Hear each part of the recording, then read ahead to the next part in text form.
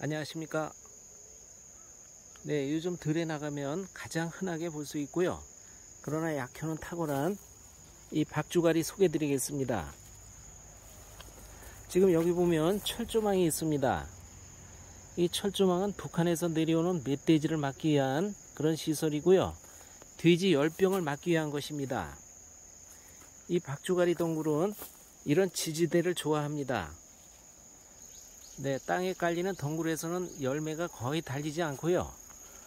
이런 지지대를 타고 올라간 동굴에서 이렇게 열매가 많이 달립니다.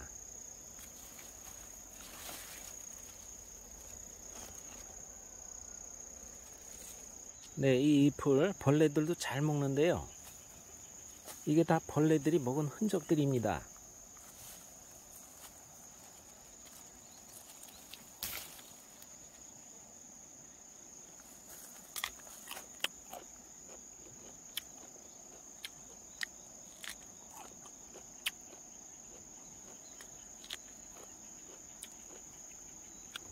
네, 달달하고 상큼한 게 맛있습니다.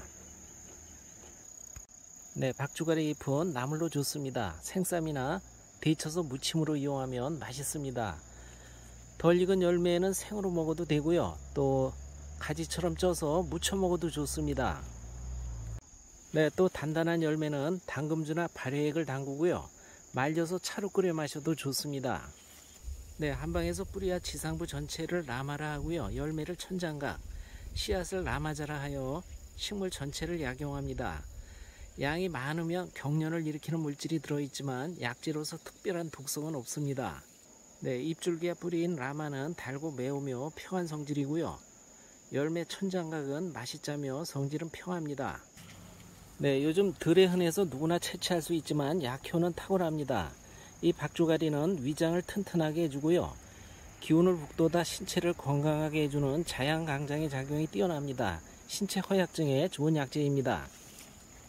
네, 또한 천연 비아그라라 불릴 만큼 남성 허약증에 좋은 약재인데요.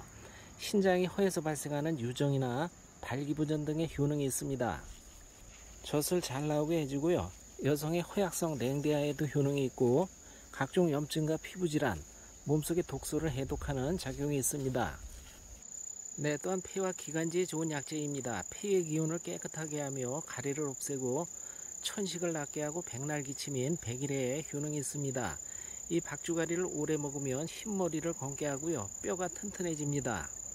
네, 또한 장을 윤활하게 해서 대변을 잘 통하게 하는 효능이 있습니다. 최근에는 이 박주가리 추출물이 퇴행성 뇌질환을 치료하는 조성물 특허가 났습니다. 치매 등 뇌세포가 손상돼 발생하는 뇌질환을 예방하고 치료하는 효능이 새롭게 밝혀졌습니다. 네, 이 박주가리는 전 부위를 식용으로 다양하게 활용할 수 있고요. 약재로는 보통 말린 잎줄기와 열매를 하루에 10 내지 15g, 생초는 60 내지 90g 범위 내에서 달여서 복용합니다. 네, 요즘 덜에 흔하고 약효가 탁월한 박주가리 알아봤습니다.